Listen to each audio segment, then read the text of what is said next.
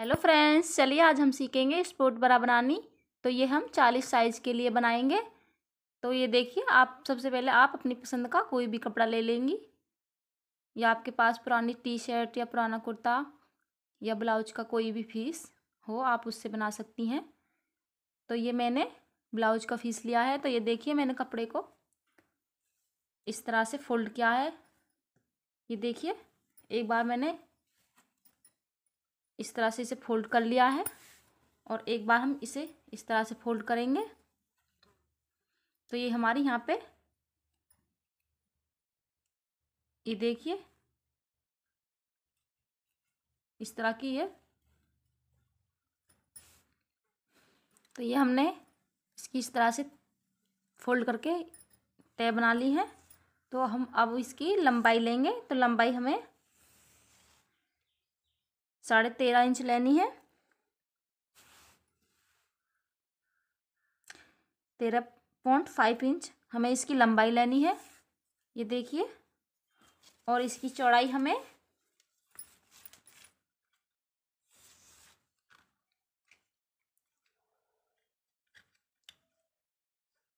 ग्यारह इंच लेनी है।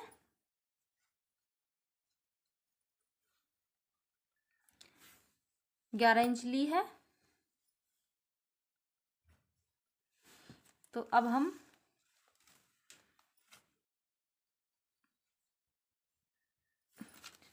सोल्जर के लिए निशान लगाएँगे यहाँ पे कंधे के लिए। ये देखिए हमें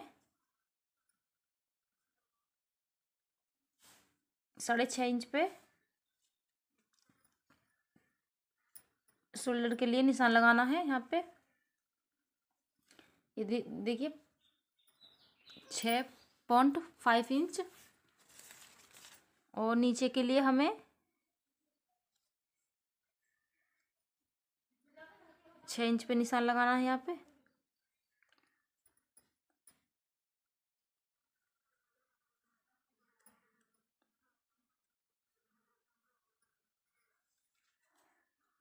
और हमें गले के लिए निशान लगाएँगे।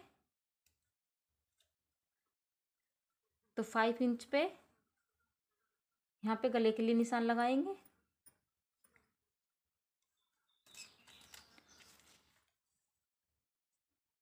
और नीचे के लिए five inch five point five inch पे गले के लिए निशान लगाएँगे।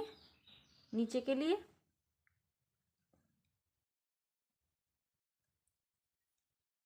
ये देखिए फाइव पॉइंट फाइव इंच इधर से हम इस निशान को इस तरह से मिला देंगे।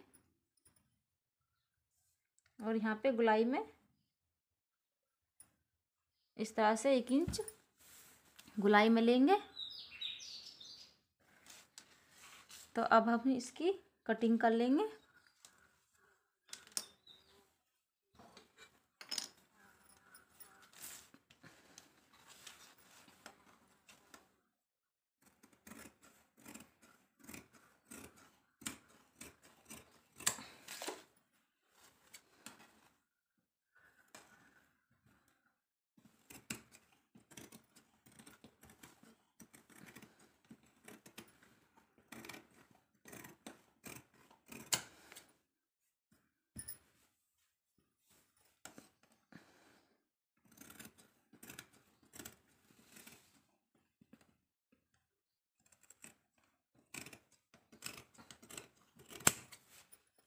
ये देखिए, हमने इसकी कटिंग कर ली है। इस तरफ़ से हमें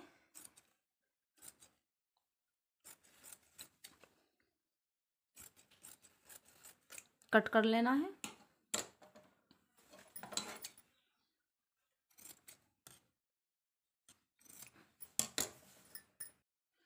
तो ये देखिए, हमारे ये इस तरह से चार पार्ट निकले हैं दो दो के। तो अब हम इनकी सिलाई करेंगे। तो सिलाई हमें कैसे करना है? तो ये देखिए।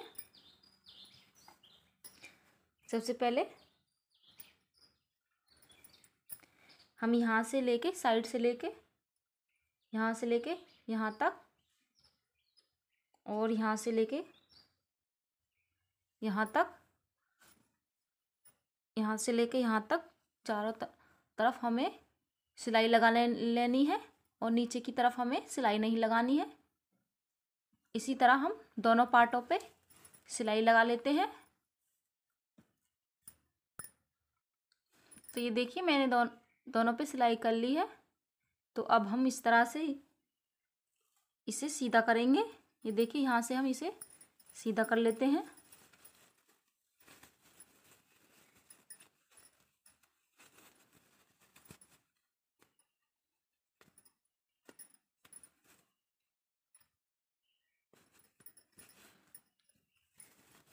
इस तरह से हम दोनों तरफ़ से इसे सीधा कर लेते हैं। ये हमारा सीधा हो गया है। हमने दोनों तरफ़ दोनों परतों को इसी तरह से सीधा कर लिया है। तो अब हमें करना क्या है? तो हम यहाँ से दोनों परतों को सिलाई लगा के जोड़ लेते हैं। हमने दोनों तरफ़ सिलाई लगा ली है। अब हम इसे सीधा करके अब नीचे से हमें इसे फोल्ड करना है। तो ये देखिए, यहाँ से हमें ये देखिए, एक बार इस तरह से फोल्ड करेंगे और एक बार इस तरह से। तो यहाँ पे हमें दो बार फोल्ड करते हुए सिलाई लगा लेनी है। ये देखिए ये देखिए, हम यहाँ पे सिलाई लगा लेते हैं। दोनों पे। ये देखिए, हमने नीचे भी सिलाई लगा ली है तो अब हमें नीचे डालने के लिए इलास्टिक लेनी है तो इलास्टिक हमें ये देखिए, इलास्टिक की लंबाई हमें सोलह इंच लेनी है यहाँ पे।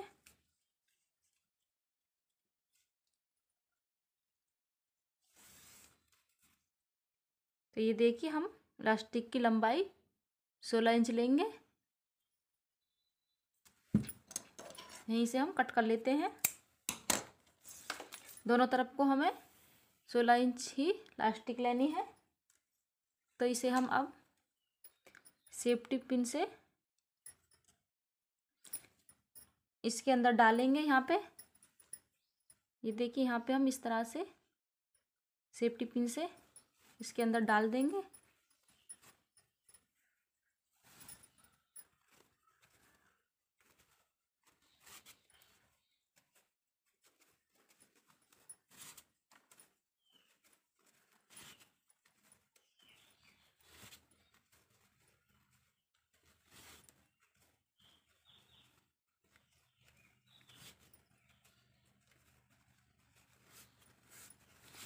देखिए, हमने इसे इसके अंदर डाल दिया है और दोनों तरफ़ हम यहाँ पे सिलाई लगा लेंगे, इधर भी और इधर भी, जिससे हमारी लास्ट, इलास्टिक निकले नहीं।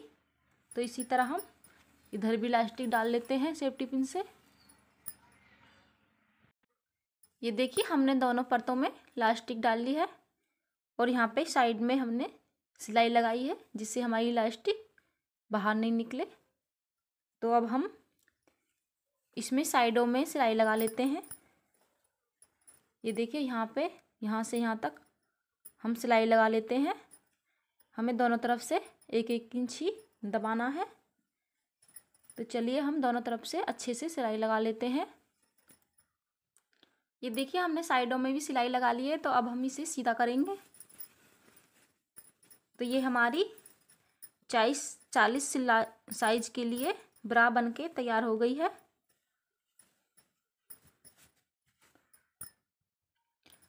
तो ये देखिए हमारी चालीस साइज़ के लिए ब्रा बन के तैयार हो गई है।